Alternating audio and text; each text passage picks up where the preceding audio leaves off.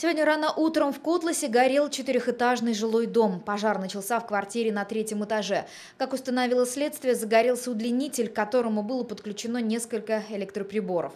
Теперь двушке необходим серьезный ремонт. Из соседних квартир пожарные эвакуировали 10 человек. Пострадавших нет.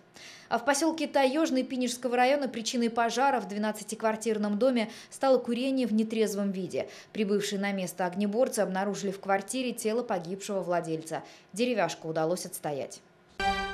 20 октября фрукты с турецких берегов станут ближе к россиянам. Постановлением правительства разрешен ввоз в нашу страну некоторых продуктов, которые ранее попали под запрет.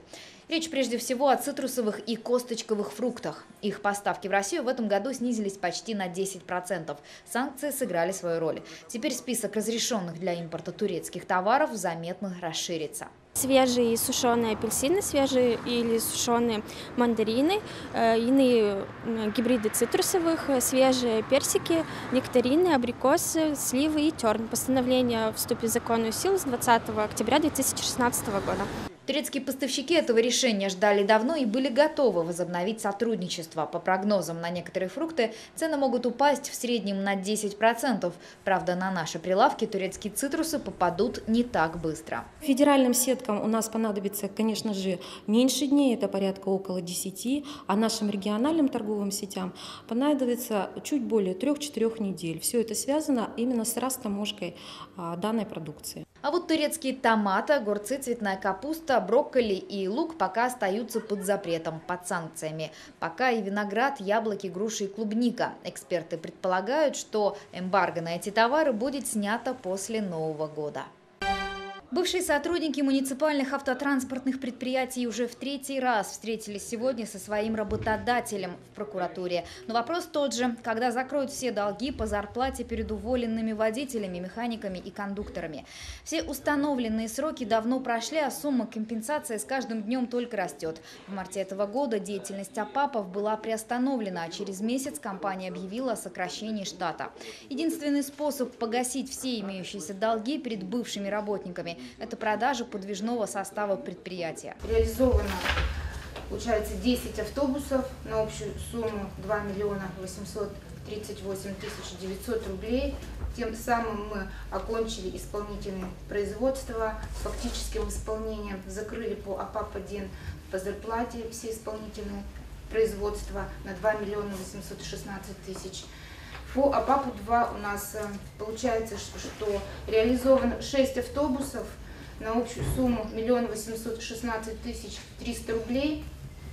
Э, э, на миллион восемьсот шестнадцать тысяч триста рублей. В итоге остаток долга на 18 октября, то есть на сегодняшний день, по зарплате составляет 2 миллиона 23 тысячи рублей. Бывшие сотрудники АПАПов уже ждут очередные торги и надеются на то, что хотя бы до конца года с ними разрешат все финансовые вопросы. Впереди у школьников осенние каникулы. Повод не только спланировать отдых, но и вспомнить о том, что он должен быть прежде всего безопасным. Поэтому волонтеры областного дома молодежи организовали акцию «Будь осторожен». Рядом с 23-й школой они провели викторину на знание правил дорожного движения. На каких местах необходимо пристегиваться пассажирам транспорта? Я сказала, на переднем. За них. И на водительском. Всем участникам викторины волонтеры вручали светоотражатели, которые знатоки правил дорожного движения спешили закрепить на ранцах и одежде. В последнее время водители, ну, в последнее время стало темнеть, и водители не замечают людей, переходящих дорогу по пешеходным переходам. И поэтому очень велика опасность быть, э, получить какие-то травмы, и мы хотим привлечь к этому внимание и помочь э, ребятам и людям, чтобы все было хорошо у них, потому что наша безопасность находится в наших руках.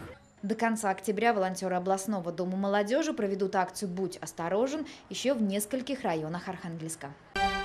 За минувшую неделю в Архангельске диагноз ОРВИ поставлен более чем двум тысячам детей. Показатель заболеваемости острой респираторной вирусной инфекцией в городе пока ниже эпидемического порога. Продолжается и прививочная кампания. Иммунизацию прошли 297,5 тысяч северян. Спонсор прогноза погоды женский спортивный клуб «Разминка». С нами худеть легко. Приходите, ждем вас на Ломоносова 154. Сейчас в Архангельске плюс 4 и облачно. К вечеру вероятен дождь. Одевайтесь теплее и не забудьте зонтики. Самые актуальные новости региона каждый час на телеканале ПЭС. Оставайтесь с нами.